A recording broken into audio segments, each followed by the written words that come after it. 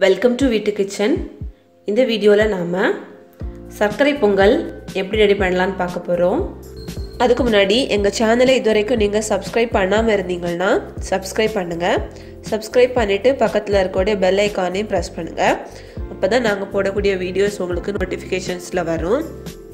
முழு வீடியோவும் பாருங்கள் இந்த வீடியோ உங்களுக்கு பிடிச்சிருந்துன்னா லைக் பண்ணுங்கள் உங்கள் ஃப்ரெண்ட்ஸுக்கும் ஷேர் பண்ணுங்கள் ஒரு கப்பு பச்சரிசி எடுத்திருக்கோம்.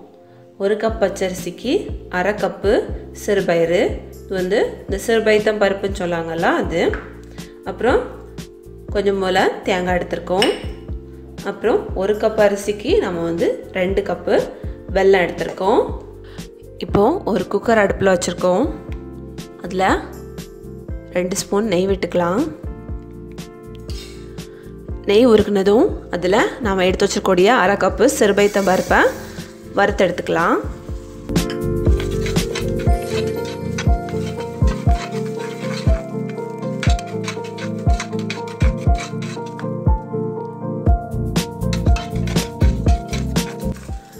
இதோட நிறம் மாறிடாமல் நம்ம வந்து லைட்டாக வறுத்தெடுத்துக்கணும். இப்போது பயிர் நல்லா வறுபட்டாச்சு. இதில் நாம் எடுத்து வச்சிருக்கக்கூடிய ஒரு கப் அரிசியை நல்லா கழுவி போட்டுக்கலாம்.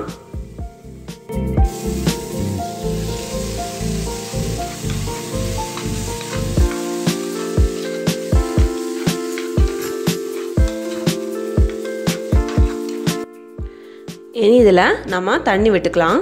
இப்போ ஒரு கப் பச்சரிசினா அஞ்சு கப்பு தண்ணி விடணும். நான் வந்து ஒரு கப்பு பாலும் நாலு கப்பு தண்ணியும் விடுறேன். ஃபஸ்ட்டு ஒரு கப் பால் விட்டுக்கிறேன். அப்புறம் நாலு கப்பு தண்ணி விடுறேன். பால் விடாண்டாம் அப்படின்னா பிரச்சனை இல்லை. பால் விடும்போது உங்களுக்கு கூட கொஞ்சம் டேஸ்ட் இருக்கும். அதனால தான் பால் விடுறது.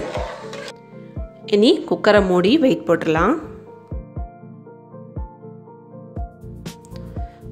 மீடியம் ஃப்ளேமில் வச்சு மூணு விசில் போதும். அடுத்து நாம் சர்க்கரை கரைச்சி எடுக்க போகிறோம் அதுக்கு ஒரு பாத்திரத்தில் நம்ம எடுத்து வச்சிருக்கூடிய ரெண்டு கப்பு வெல்லத்தை சேர்த்துக்கலாம்.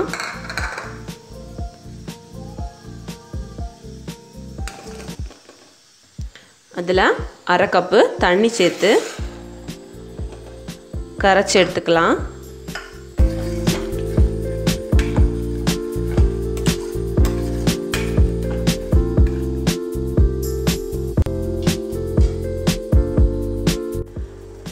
இப்போ சர்க்கரை நல்லா கரைஞ்சாச்சு. பாருங்கள் கட்டி இல்லாமல் நம்ம கரைச்சாச்சு. இனி இப்போ அடுப்பு ஆஃப் பண்ணிக்கலாம். நம்ம கரைச்சி வச்ச சர்க்கரை பாகு வந்து ஆறட்டும். இனி நம்ம வந்து வறுத்து எடுத்துக்கலாம். முந்திரி பருப்பு. இப்போ இதில் ஒரு ஸ்பூன் நெய் விட்டுக்கலாம்.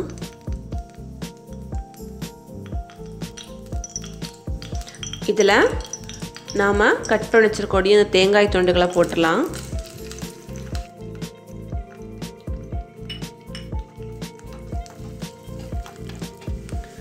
இப்போது தேங்காய் வறுபட்டாச்சு.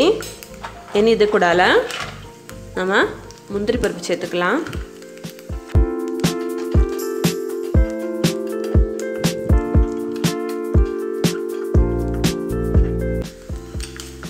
இது கூடால கொஞ்சம் போல் கிறிஸ்மஸ் பழம் சேர்த்துக்கலாம்.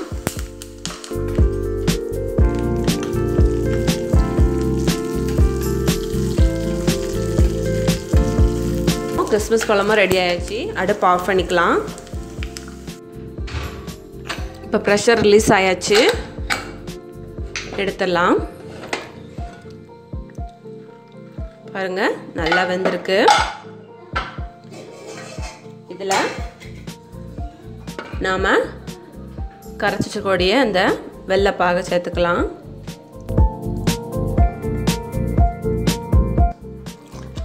சேர்த்து நல்லா கிண்டி விட்டுக்கோங்க.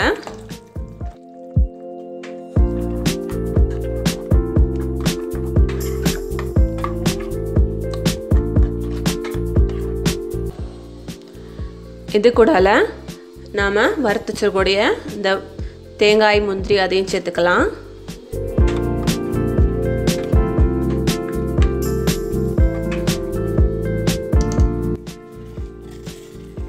இப்போ லைட்டாக கொதிக்க ஆரம்பிச்சாச்சு. இந்த நேரத்தில் பொடிச்சு வச்சக்கூடிய ஏலக்காய் இதில் சேர்த்துக்கலாம். ஒரு ஸ்பூன் நெய் விட்டுக்கலாம். இனி இதை லைட்டாக கிண்டி விட்டுக்கலாம். பாருங்கள்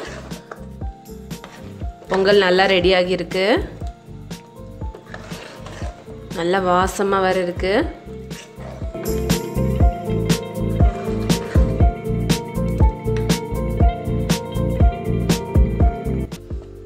இப்போ இது என்ன கொதிக்க ஆரம்பிச்சாச்சு? இந்த ஸ்டேஜில் நம்ம அடுப்பு ஆஃப் பண்ணிக்கலாம். இதுக்கு மேலே நம்ம வந்து இதுதான் கரெக்டான பக்குவம் பொங்கலுக்கு பக்குவம். பாருங்கள் விடும்போது அப்படி விழணும். தண்ணி மாதிரி போகக்கூடாது. ஸோ இந்த ஸ்டேஜில் நம்ம அடுப்பு ஆஃப் பண்ணிக்கலாம். சுவையான ஆரோக்கியமான சர்க்கரை பொங்கல் ரெடி ஆயாச்சு. பாருங்கள் எவ்வளோ அம்மியாக இருக்குது சாப்பிடவும் நல்ல டேஸ்ட்டாக இருக்கும். இதை நீங்கள் உங்கள் வீட்டில் செஞ்சு பாருங்கள் இந்த பொங்கலுக்கு இந்த சர்க்கரை பொங்கலை இந்த மாதிரி செஞ்சு பாருங்கள் செஞ்சு பார்த்து உங்களோட கமெண்ட்ஸை எங்களுக்கு சென்ட் பண்ணுங்கள் இந்த வீடியோ பிடிச்சிருந்துன்னா இந்த வீடியோவை நீங்கள் லைக் பண்ணுங்கள் அதே மாதிரி ஷேர் பண்ணுங்கள் தேங்க்யூ